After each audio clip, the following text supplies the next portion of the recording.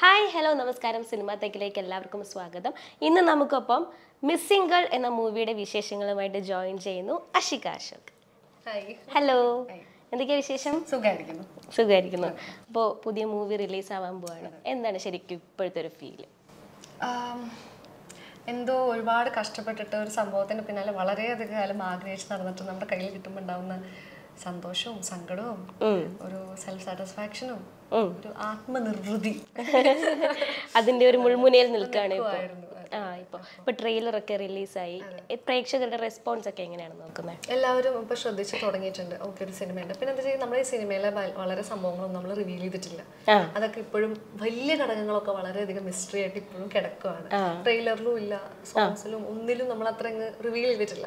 So ഇത് ഒരു ചുപ്പിക്കുള്ള മുത്തു പോലെ ഇങ്ങനെ ഇരിക്കുവാണ്. അപ്പൊ തിയേറ്ററിൽ പോയിട്ട് കാണുന്നവർക്ക് മാത്രം കണ്ടാൽ മതി എന്നുള്ളൊരു ഇതിൽ നിൽക്കുവാണ്. ശരിക്കും എന്താണ് ഈ മൂവിയുടെ ഒരു രീതിയൊക്കെ? ഒരു ജോണർ അല്ലെങ്കിൽ എങ്ങനെയാണ്? ജോണർ എന്ന് പറയുകയാണെങ്കിൽ മിക്സ്ഡ് ജോണറാണ് ക്രൈം ഉണ്ട് ഹൊറർ ഉണ്ട് സസ്പെൻസ് ഉണ്ട് ത്രില്ലർ ഉണ്ട് റൊമാൻസ് ഉണ്ട് കോമഡി ഉണ്ട് എല്ലാം ഒന്നടങ്കം ഉള്ള എല്ലാവർക്കും കാണാൻ പറ്റിയ ആ ഒരു ഇന്ന ഏജ് ഗ്രൂപ്പിനെ ഒന്നും ഫോക്കസ് ചെയ്യുന്നില്ല. എല്ലാ കുടുംബ പ്രേക്ഷകർക്കും കാണാൻ പറ്റിയിട്ടുള്ള ഒരു സിനിമയാണ്. വളരെ സീരിയസ് ആണോ എന്ന് ചോദിച്ചാൽ വളരെ സീരിയസ് ആയിട്ട് ഒരുപാട് ഡെപ്ത് ഉള്ള ഒരു കഥയാണ്.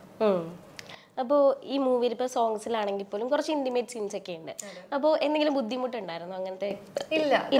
ഇത് ഇതിൽ വർക്ക് ചെയ്തിട്ടുള്ള ആർട്ടിസ്റ്റുകൾ എല്ലാവരും എന്റെ ഫാമിലി പോലെ തന്നെയാണ്. എന്റെ ചേട്ടന്മാരാണ് എല്ലാവരും അഭിനയിച്ചിട്ടുള്ളത്. അപ്പോൾ വിഷ്ണുവേട്ടന് ആദ്യമായിട്ടാണ് ക്യാമറയുടെ മുന്നിൽ വന്ന് നിൽക്കുന്നത്. അപ്പൊ അതിന്റെ ഒരു ബുദ്ധിമുട്ട് വിഷ്ണുവേട്ടൻ ഉണ്ടായിരുന്നു എനിക്ക് പിന്നെ നമ്മൾ ചെയ്യുന്നതുകൊണ്ട് എനിക്ക് വലിയൊരു ബുദ്ധിമുട്ടൊന്നും ഉണ്ടായില്ല. പക്ഷെ ഞങ്ങൾ പരസ്പരം അങ്ങോട്ടും ഇങ്ങോട്ടും പറഞ്ഞ് സഹായിച്ച് മോട്ടിവേറ്റ് ചെയ്ത് പിന്നെ നമുക്ക് ഒരുപാട് എക്സ്പീരിയൻസ് ഉണ്ടല്ലോ ലൈക്ക് ഈ മൂവി ചെയ്ത് ചെയ്ത്.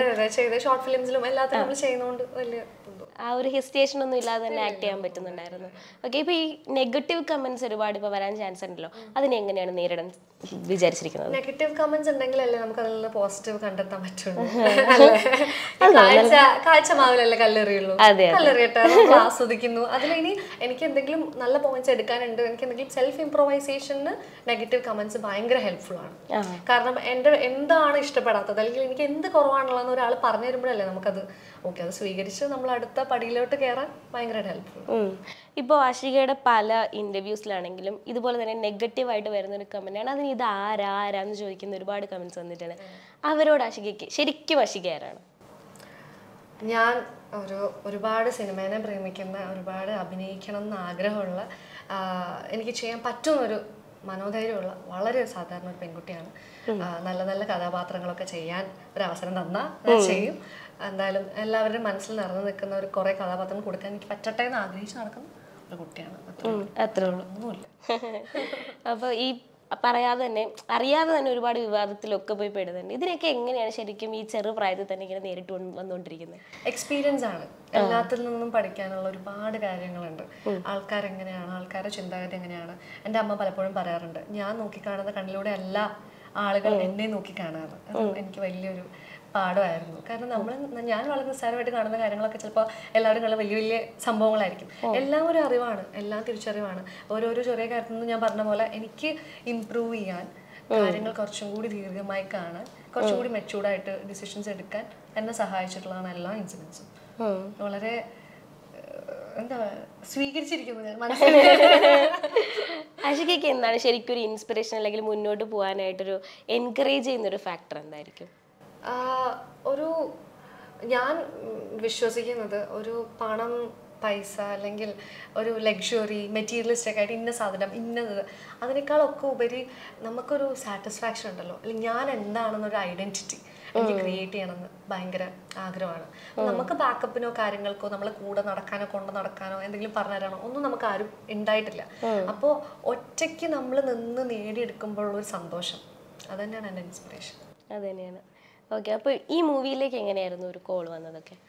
എനിക്ക് സത്യം പറഞ്ഞാൽ ഞാൻ ഷോർട്ട് ഫിലിംസ് റീൽസ് ടിക്ടോക്കിലൂടെ ഒക്കെയാണ് സത്യത്തിൽ തുടങ്ങിയത്. എല്ലാവരും എല്ലാവർക്കും കേൾക്കുമ്പോൾ ഭയങ്കര പുച്ഛമാണ് റീൽസ് ടിക്ടോക്ക് പക്ഷെ ഈ വലിയ മുൻനിര താര രംഗങ്ങളൊക്കെ നിൽക്കുന്ന സമയത്ത് ഞങ്ങളെ പോലെയുള്ള നമുക്കൊന്നും ആരും ഒരു ഇൻട്രൊഡ്യൂസ് ചെയ്യിപ്പിക്കാൻ ആരും ഇല്ല. അപ്പൊ നമ്മളുടെ വഴി നമ്മൾ തന്നെ കണ്ടെത്തേണ്ടതാണ്. അപ്പോൾ എനിക്ക് ഞങ്ങൾക്ക് ഇതൊക്കെയാണ് മാർഗങ്ങൾ. എന്റെ കയ്യിൽ ഇന്ന കഴിവുണ്ട് എന്നുള്ളത് പ്രേക്ഷകരിലേക്ക് എത്തിക്കണമെങ്കിൽ എന്ത് വേണം? എനിക്കൊരു മീഡിയ വേണം. അതെ. അതിനുള്ള മീഡിയ ആയിരുന്നു എനിക്കിതെല്ലാം.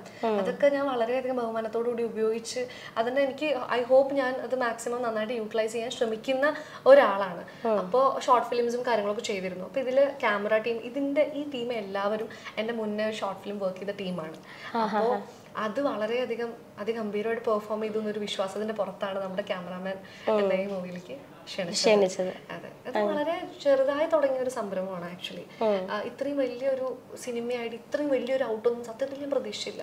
ഭയങ്കര എന്താ ആ ഓക്കെ നമ്മൾ എല്ലായ്പ്പോഴും ചെയ്യുന്ന പോലെ എന്നുള്ളൊരു കരുതിയിട്ടാണ് ഇതിലേക്ക് ഞാൻ ചെയ്യാം എന്ന് പറയുന്നത്. പിന്നീട് അത് ഇത്രയും വലിയ അല്ലെങ്കിൽ ഞങ്ങളൊക്കെ നോക്കിക്കാണുന്ന ഒരു പ്രൊജക്റ്റായിട്ട് മാറി.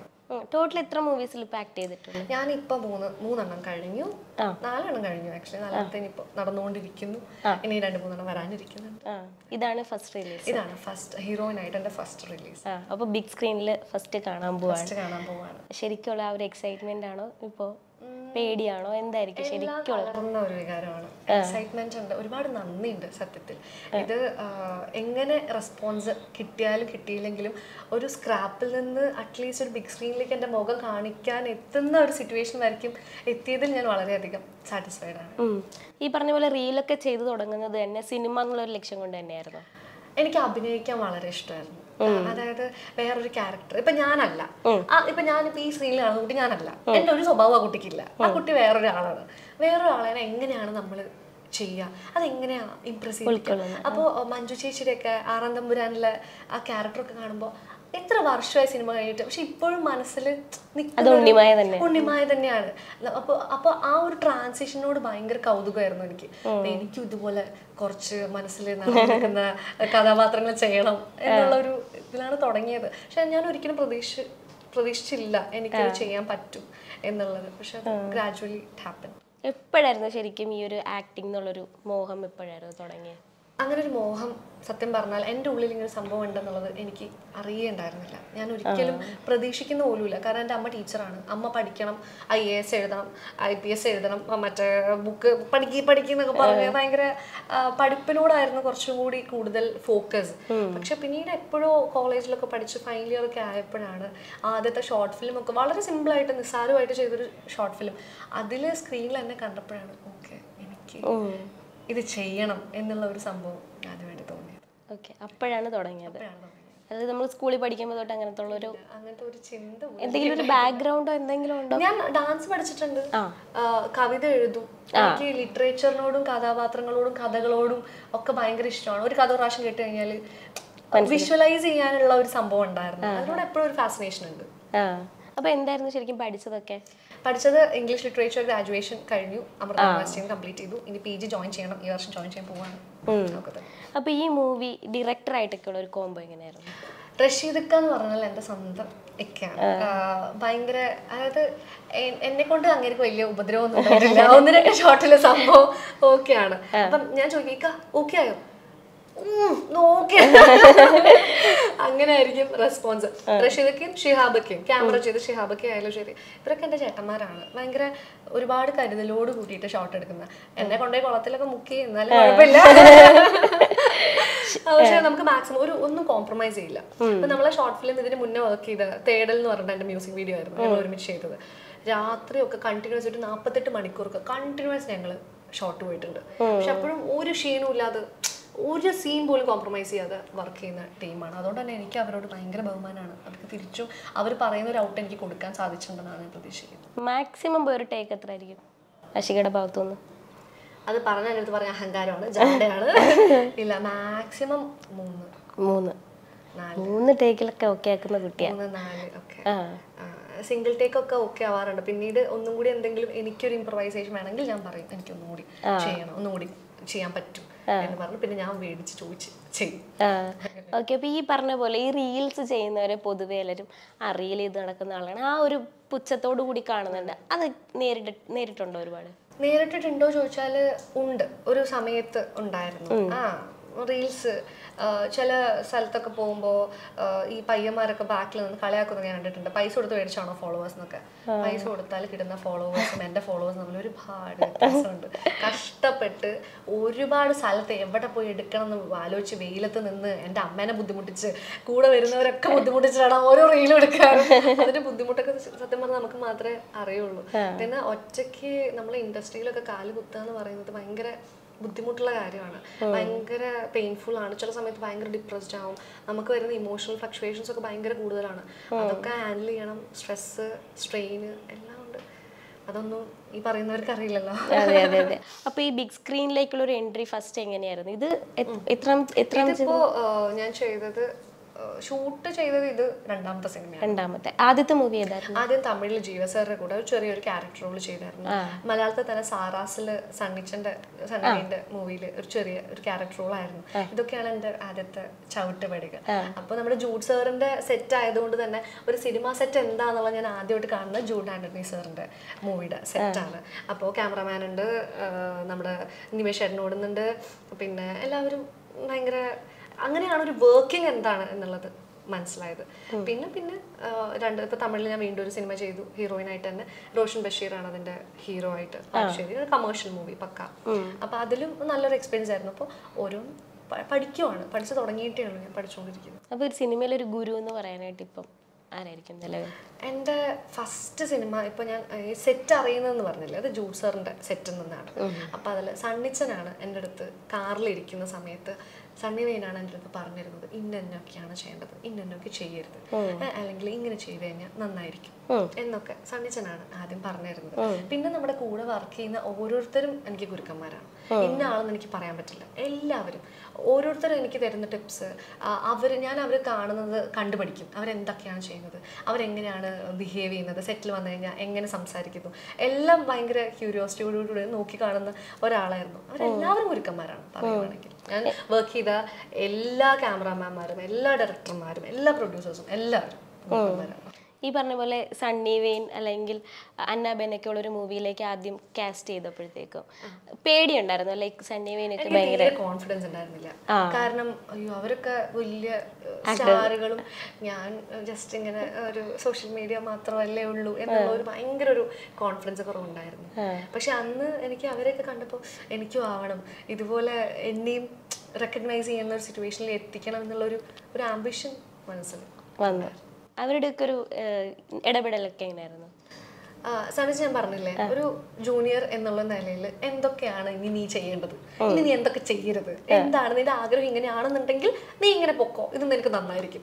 അങ്ങനത്തെ ഒരു അപ്പൊ ഈ പേടിച്ചതൊക്കെ വെറുതെ ആയിരുന്നു തോന്നി അടുത്ത്? ഇല്ല ഒരിക്കലും ഇല്ല. കാരണം അവരൊക്കെ ഈ ഒരു സിറ്റുവേഷനിൽ എത്തിയിട്ടുണ്ടെന്നുണ്ടെങ്കിൽ അതിലും അവർ ഒരുപാട് കാര്യങ്ങൾ എൻഡോർ ചെയ്തിട്ട് തന്നെയായിരിക്കും എത്തിയിട്ടുണ്ടാവുക.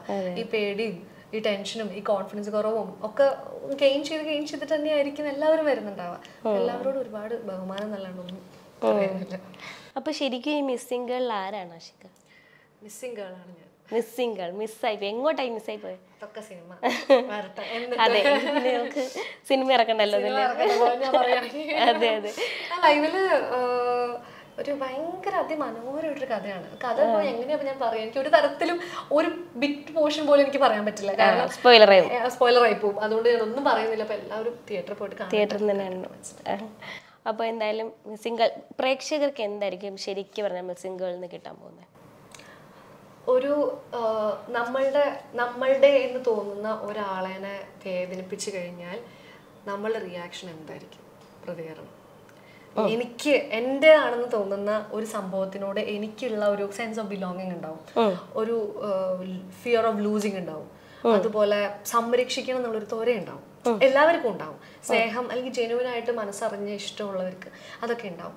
അങ്ങനെയുള്ള ഒരു സംഭവത്തിന് ഒരാൾ വന്ന് നോവിക്കുന്നു എന്നുള്ളപ്പോൾ ഒരു പ്രതികരണം എന്തായിരിക്കും?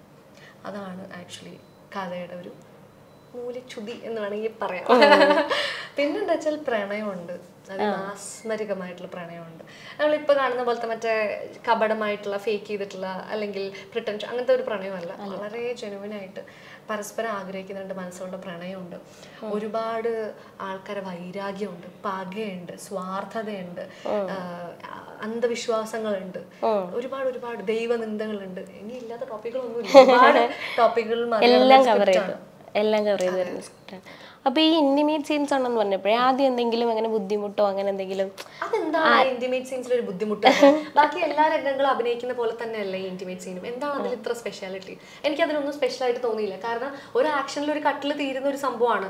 നമ്മൾ ഒരിക്കലും എന്റെ കൊളീക്കാണ് അല്ലെങ്കിൽ എന്റെ കോവർക്കറാണ് നമ്മൾ ആക്ഷൻ പറയുന്നു നമ്മൾ ആ സ്ക്രിപ്റ്റിന് ഡിമാൻഡ് ചെയ്യുന്ന ആ കഥേനെ ഇംപ്രസ് ചെയ്യിപ്പിക്കാൻ പറ്റിയ ഒരു സംഭവമാണ് ഇന്റിമേറ്റ് സീനും ഒരു കരച്ചിൽ കരച്ചിൽ കരച്ചിൽ കരയേണ്ട ഒരു പൊട്ടി കരയേണ്ട ഒരു സീനുള്ള പോലെ തന്നെയാണ് ഇന്റിമേറ്റ് സീനും അതിൽ എന്താണ് ഒരു പ്രത്യേകത? എനിക്കതിൽ വലിയ പ്രത്യേകതയൊന്നും എനിക്ക് തോന്നിയിട്ടില്ല. പക്ഷെ പൊതുവെ പ്രേക്ഷകരുടെ ഒരു പ്രതികരണത്തിൽ അങ്ങനെ തോന്നുന്നു കാഴ്ചപ്പാടല്ലേ.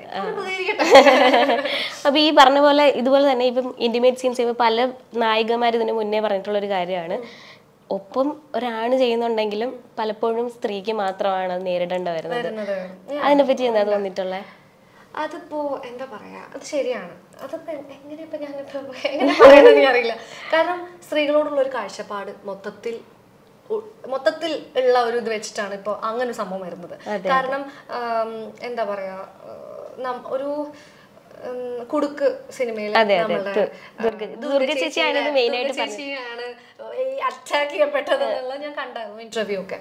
അതിൽ ആണുങ്ങളെ പൊതുവേ നമ്മൾ അങ്ങനെ പറഞ്ഞ് ശീലിച്ചിട്ടില്ല. അല്ലെങ്കിൽ നമ്മൾ ആ രീതിയിൽ ആണുങ്ങളെ കണ്ടിട്ടില്ല.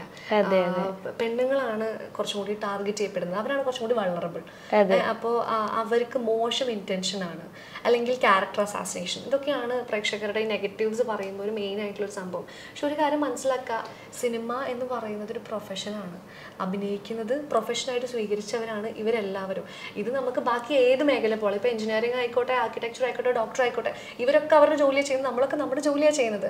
എന്റെ ക്യാരക്ടറെ അതിമനോഹരമായിട്ട് എനിക്ക് ഏതൊക്കെ രീതിയിൽ കാണിക്കാൻ പറ്റുമോ? അത് മാത്രമായിരിക്കും ആസ് എ പ്രൊഫഷണൽ എന്റെ ലക്ഷ്യം. അല്ലാതെ ഇതിൽ ഒരാളെ ഇനി വഴിതെറ്റിക്കാനോ മോശം ഇന്റൻഷനോ അല്ലെങ്കിൽ ഒരാളുടെയും എന്താ പറയുക അറ്റൻഷൻ പിടിച്ചു പറ്റുന്നതോ അല്ല ഇവിടുത്തെ ബേസിക് ആയിട്ടുള്ള കാര്യം എന്നുള്ളത് മനസ്സിലാക്കാൻ ഒരുപാട് അതിക്രമിച്ചിരിക്കുന്നു എല്ലാവരും. മനസ്സിലാക്കി. ഇപ്പൊ കുറെ കാഴ്ചപ്പാടൊക്കെ മാറി തുടങ്ങിയിരിക്കുന്നു. എല്ലാവരും നല്ലൊരു കാഴ്ചപ്പാട് കൂടെ നോക്കി കാണുന്നുണ്ടെന്നാണ് പ്രതീക്ഷ. വണ്ടർഫുൾ ആൻസർ ആയിരുന്നു അത്. അത് ശരിക്കും പറഞ്ഞാൽ ഞാൻ ചോദിച്ചത് തന്നെ ആ ഒരു ഇതറിയാൻ വേണ്ടിയിട്ടാണ്. അതെ അതെ അതെ. അടിപൊളി. എനിക്കിഷ്ടമായി അപ്പോൾ എന്തായാലും മൂവി അടിപൊളി ഹിറ്റായി മാറട്ടെ. സൂപ്പർ ഹിറ്റ് ആവട്ടെ. നമുക്ക് അഷിക ഒരു സൂപ്പർ സ്റ്റാർ ആയിട്ട് ഒരു ലേഡി സൂപ്പർ സ്റ്റാർ ആയിട്ട് നമുക്ക് കിട്ടട്ടെ അല്ലേ? Thank you so much